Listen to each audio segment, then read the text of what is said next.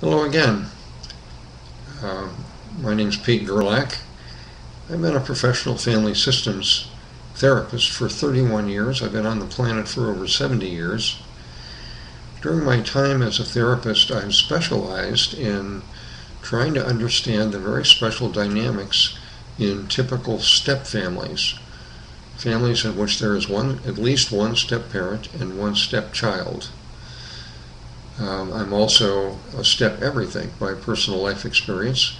I've worked with well over a thousand men and women uh, and students who are in step families, new step families, veteran step families.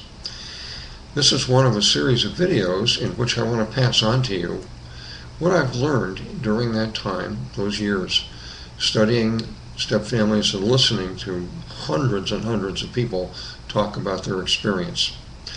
In this video, I want to distill, in case you're curious, what's it like to live in a step family? I want to highlight a series of six groups of things that typical adults and kids in step families experience. People who are new to step families and who haven't done their homework, roughly when they commit to um, a new partnership and cohabiting and merging several families together, it's roughly equivalent to taking all the members of your family and setting out with backpacks to explore the Amazon jungle without having any maps.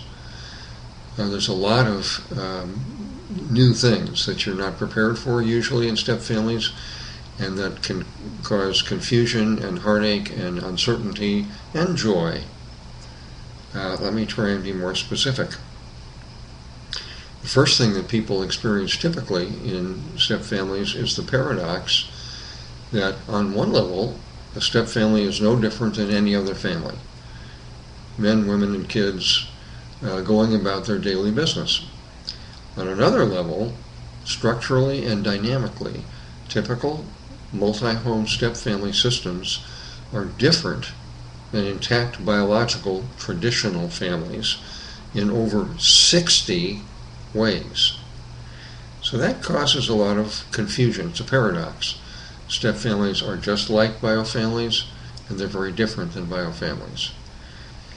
Um, that can cause people to underestimate how confusing and stressful being in a step family can be.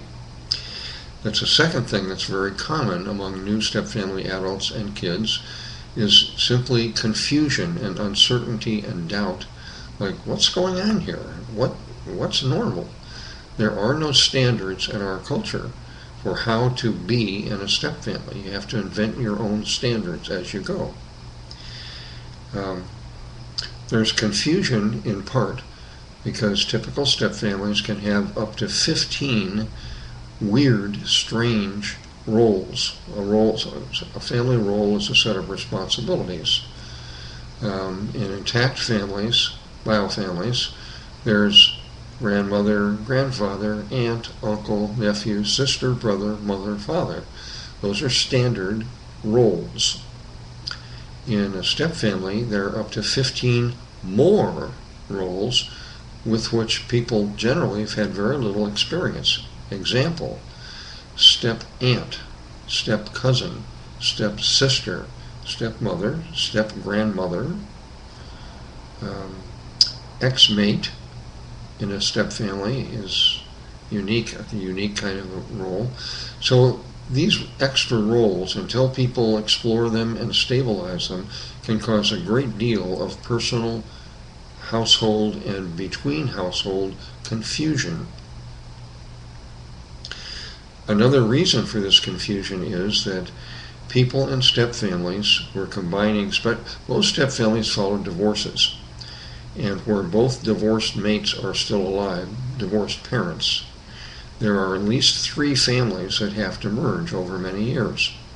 The new step parent, their partner who is a single parent, and the other single parent, those are three families that have to merge. There are over 30 different merger tasks that all members of all three or more families have to master over time. Because there is no rule book about how to do a step family merger, often uh, merging um, these many aspects of three different families causes a great deal of confusion and conflict and stress. So confusion is something to expect in a new step family for several years after people cohabit and come together. I mentioned conflicts. Step families typically have more conflicts in part because they have more people than biological families. Typical step families can have anywhere from 50 to 70 or more people on all three generations. There are more people and more relationships in typical step families. That frequently can mean more concurrent conflicts. Conflicts over what? The first one is step family identity. Members of a, a step family all often have different points of view. Yes, we're a step family. No, we're not. I don't know if we are. What is a step family? Well, we're sort of a step family, but not really. Um, there can be a good deal of confusion and some conflicts. I say we're a step family. I say we're not. Conflict.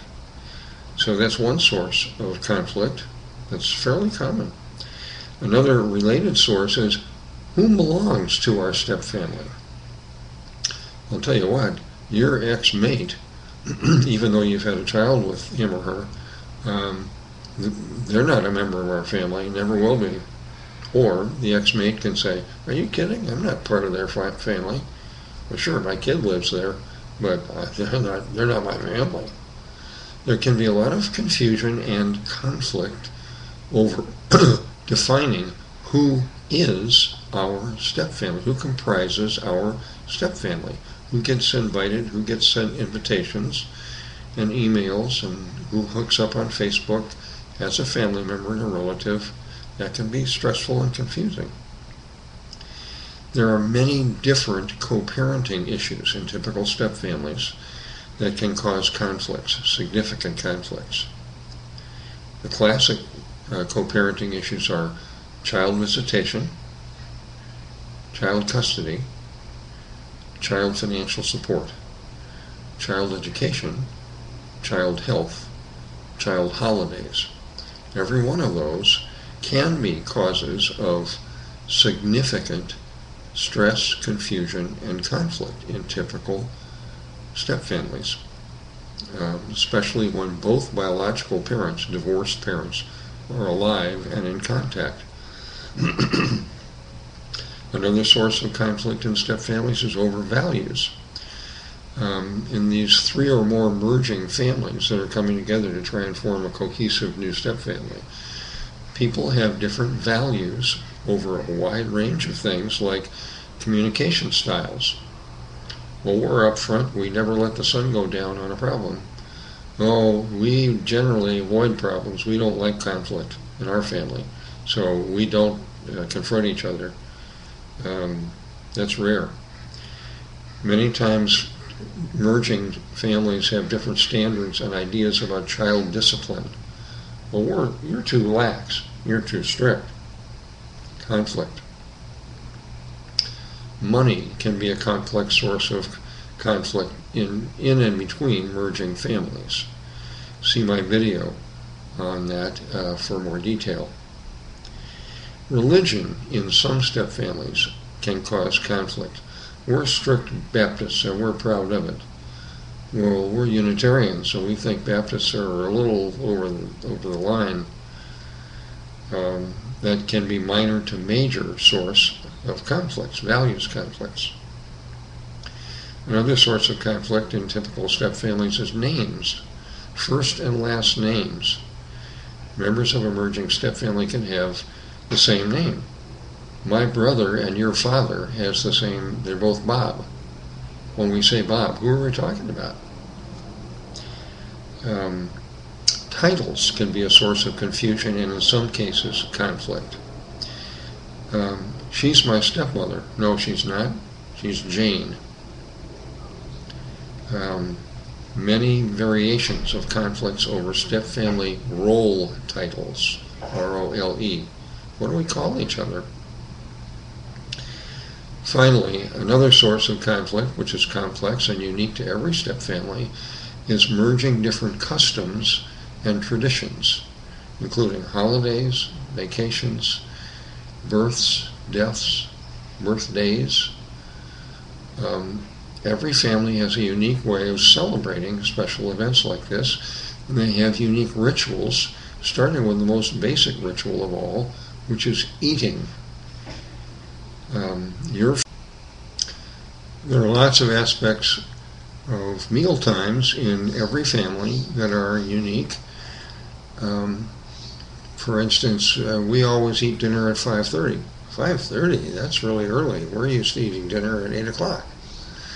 There are rituals around buying food, storing food, preparing food, who cooks, how do they cook, do you use seasonings or not, um, are you vegetarians or not, uh, are you fish eaters or beef eaters? There's all kinds of rituals and preferences that people wind up both teaching each other in a new step family and or competing over so they can either be sources of new learning and new experience or they can merging these things can uh, rituals in general uh, can bring about a good deal of stress and conflict and resentment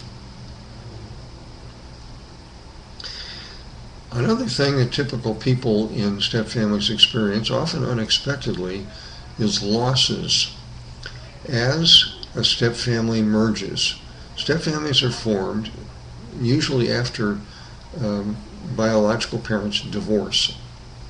Step families are formed by the merging of the divorced family and the new step parents family. Sometimes that can be if both parents are divorced, that can be divorced family, new family, divorced family. There can be three or more families that have to merge. All three generations have to merge. Many different things. As mergers progress, after dating gets serious of a single parent, um, people not only experience changes in their lives, physical and invisible changes, they also experience some significant losses, particularly around cohabiting. Uh, when someone moves into someone else's house with or without children, that changes many, many things space, privacy, routines, noise, pets, um, lots of things. Those can be simply changes and or uh, things that get lost. Prize things can get lost. Example, a biological child whose parents have divorced can hang on to the illusion and dream my parents someday will reunite and we'll all be a quote happy family again, even though you weren't. When their biological parent remarries or forms a new partnership and moves in with a new adult, or a new adult comes to stay, that hope, uh, which is beyond measurement, is lost. Many kids say, I guess that will never happen. That's one kind of many complex, powerful losses that often people are minimally aware of. So, my general point here is people in step families can experience some important losses, broken bonds that need to be grieved. They also may not have finished grieving losses from prior parental death or divorce. So, healthy grief is something that needs to happen in most step families.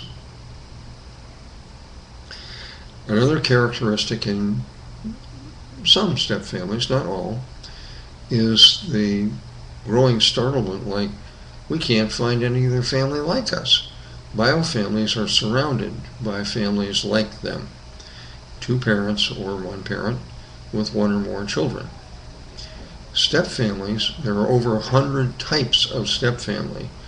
Considering he was divorced, she wasn't, she was divorced, he wasn't, they both were divorced, neither were divorced, one was widowed, one has kids, one doesn't, the other has kids, the other doesn't, one has teenagers, the other doesn't. Lots of variations which usually means it's very unusual if you're a member of a step family, to meet people in a similarly structured step family. That can lead to the sort of semi conscious feeling like we're the only ones on the planet like this. There's nobody who really knows us or is like us. That can lead to a feeling of being alone and isolated. It's true of some step families, not true of others.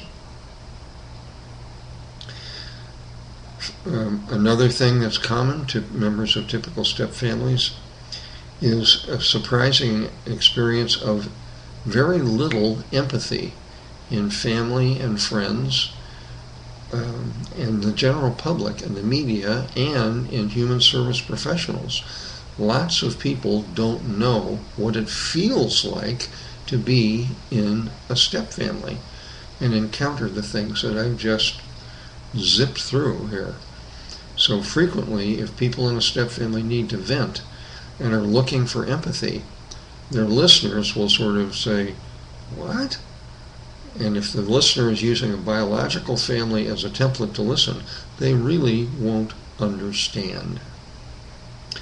So often, little empathy and support is something that step family adults and kids uh, can experience. The final thing that's common to all step families is every member has, has many chances to grow as persons, as couples, and as a whole family. There's lots of opportunities to learn, to stretch yourself, to find new ways of living that are enjoyable and rich and productive. Um, step families are full of unexpected joys and surprises. I don't mean to paint a negative or black picture of step families, but they're very complex.